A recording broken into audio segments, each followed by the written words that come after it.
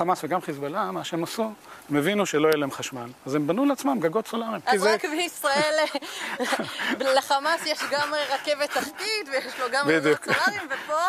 מתעכבים. בזמן שאפילו אויבינו הבינו שהם צריכים אנרגיה מתחדשת כדי להתקיים, בקיבוץ רעים רק עכשיו קמה חווה סולארית שמייצרת חשמל מהשמש. גלעד פלד, מנכ"ל חברת אנלייט ישראל, התגייס להביא לשיקום אנרגטי של הקיבוץ.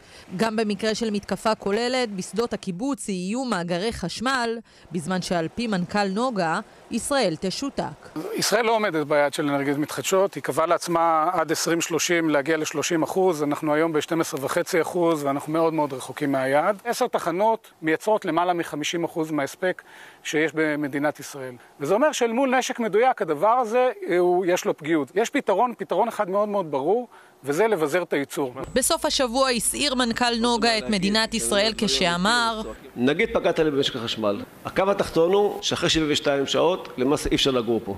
מאז בעלת הגנרטורים חזרה, מנכ"ל חברת חשמל תקף אותו, ובדירקטוריון נוגה עסקו אתמול בהדחתו. אחרי 7 באוקטובר אני חושב שאנחנו צריכים באמת את מידת הצניעות, ושאם יש מישהו שמתריע, אז להתייחס לבעיה ופחות לאדם. עכשיו צריך להתרכז בתוכנית, תוכנית רצינית, ממשלתית, שתיקח ותבזר את הייצור ותעביר אותו מהר, הרבה יותר מהר, לאנרגיה מתחדשת. טוב, אתה מדבר על פגיעות, אבל אנחנו בסופו של דבר נמצאים בדרום, באותה מידה הרקטות יכולות לפגוע בפאנל הזה שנמצא מאחורינו. אז אני יכול להגיד לך, לא רק שיכולות, אלא גם פגעו. המתקנים האלה בנויים בצורה כזאת, שבקושי אחוז אחד או שניים מהמתקן נפגע. אז בזמן שגולדשטיין קרא למלך חירום והושתק, בפני רשות החשמל נמצאים המשקיעים, הטכנולוגיה והמוח היהודי להפוך את ישראל למעצמה אנרגטית, אבל גם הבירוקרטיה.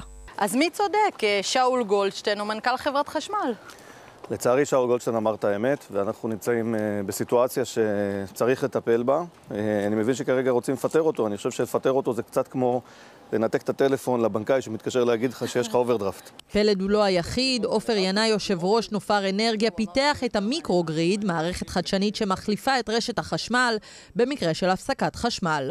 לדבריו נתקל בחומה מול רשות החשמל כשהציע לקדם את המערכת בערים בישראל.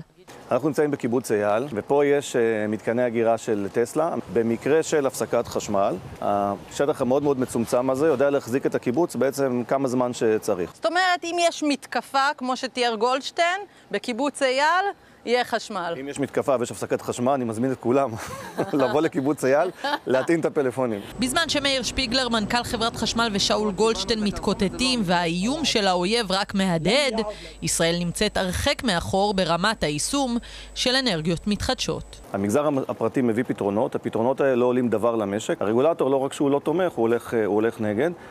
החברה שלי, נופר אנרגיה, היום פעילה בעשרה שווקי חשמל. שוק החשמל בישראל הוא הכי מפגר מכולם. כי למה? כי הרגולטור מתנהל כאילו אנחנו בתקופה של גנרטורים, 1970. אז למה הקיבוץ כן יכול לעשות את זה, אבל בקריית שמונה לא? הקיבוץ הוא אוטונומי, הוא מחלק חשמל, הוא יכול לקבל החלטות לעצמו. קריית שמונה, המחלק שלה זה חברת חשמל. אנחנו כרגע תקועים בזה שבעצם הקיבוץ כן צועד לכיוון המודרניזציה, אבל הציבור הרחב לא יכול ליהנות מזה. מבחינת בכירי משק האנרגיה, גולדשטיין הוא התצפיתנית שהתריעה ללא הקשבה.